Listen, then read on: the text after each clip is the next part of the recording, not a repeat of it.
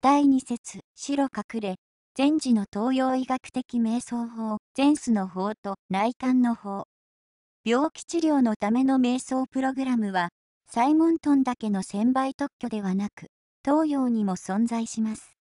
その中で特に有名なものが、臨済宗の白隠れ、禅師が伝えた内観の法と前スの法です。内観の法と前スの法は白隠れ、禅師の著書、ヨフネ緩和の中に記載されている病気治療のための瞑想法です。A 前スの法。まず、ヨフネ緩和の原文を示します。ヨガ、曰く、巣を用いるの法、得て分筆べしや。かそけが、曰く、行者上中、次第調和せず、心身ともに炉を疲れすることを覚ませば、心を起こして、おうさに思想をなすべし。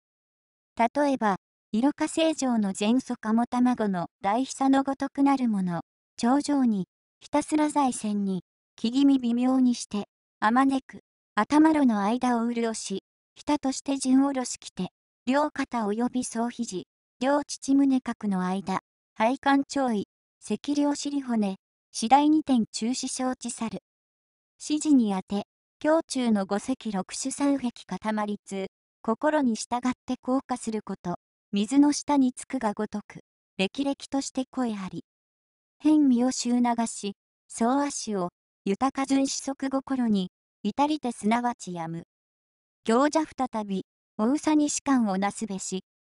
彼の蓋として純化するところのよりうつもりたたえへて、温め浸すこと、あたかも、世の酔いの種樹妙高の薬物を集め、ゼオに輸して、欲番の中に盛りたたえへて、我が細はやめ下をつけ浸すがごとし。士官をなすとき、唯心助言の声に、花根幸家の後期を聞き、新婚にわかに、妙よしみの前沢を塾。新身長的なること、230歳の時には8日に勝れり。指示にあたりて、石手を、小通るし、長位を調和し、里しへずはだはだ光沢を生ず。若き務めておこたらずんば、いずれの病か治せざらむ。いずれの特活まざらむ。いずれの戦かなるぜざる。いずれの道かなるぜざる。気候源の知足は、後人の進む治の生うとによる楽のみ。文章は、修行中の白隠れ、禅師と白かそけ先生の対話形式になっています。禅の修行に励んでいた白隠れ、禅師は、修行開始後23年目にして、ついに、悟りの境地に達したと自覚しました。普通の人間ならに230年かかるところを、自分はたった23年の修行で、悟りの境地に達したではないかと天にも昇る心地になりました。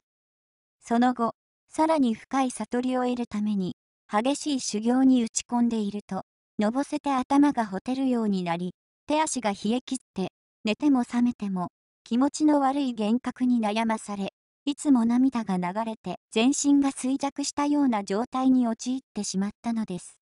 このような状態は全病と呼ばれています。全病とは全修行の時に修行僧が犯される頭痛、発熱、神経痛、関節炎、胃腸病、老害、結核など様々な病の総称で、過度の精神集中による神経症、ノイローゼのような状態と考えられていますが、悪霊の憑依であるとする説もあります。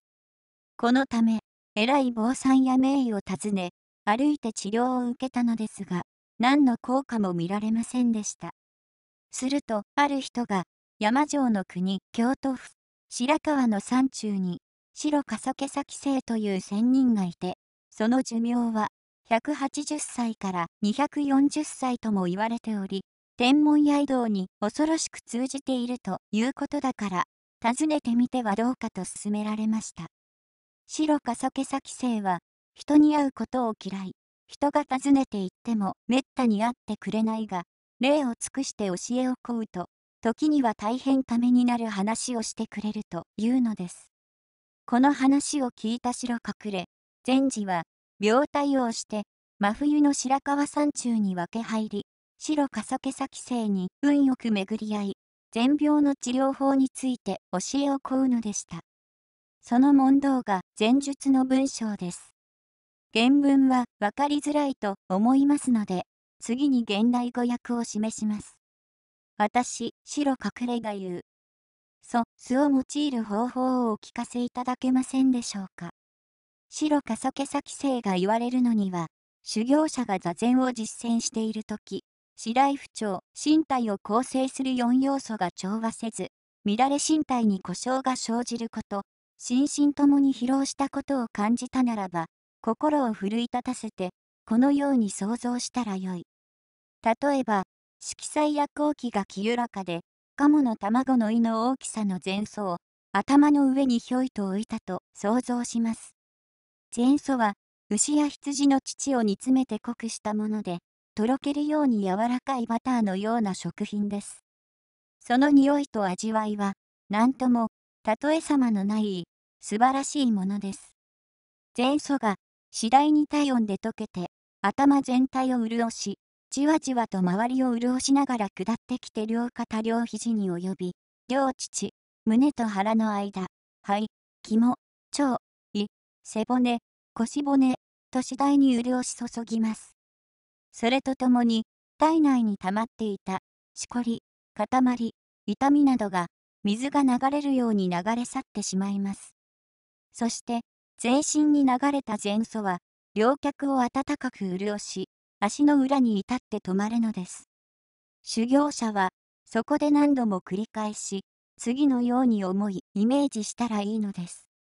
じわじわと潤しながら流れ下る前素の流れが、全身を温め浸すことは、あたかも、世の酔いが、種々の妙なる香りのする薬を集め、背お湯で煎じて、風呂桶の中にたたえ、自分のほぞより下を付け浸すような気持ちを思い起こさせます。このように感じるとき、華厳経に言う通り、一切は心の思いより生じるのですから、花はたちまち妙なる香を感じ、皮膚に耐え、妙なる前世が触れる心地がします。心身快適なることはに、30歳の時より8日に勝っています。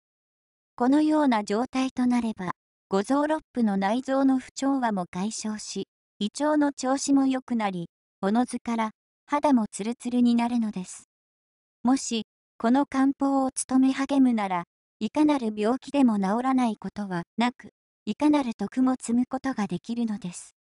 仙人のように不老長寿になれるかもしれないし、どんな望みでも成就できないことはなくなるのです。その進歩の遅い早い派、修行者の努力次第なのです。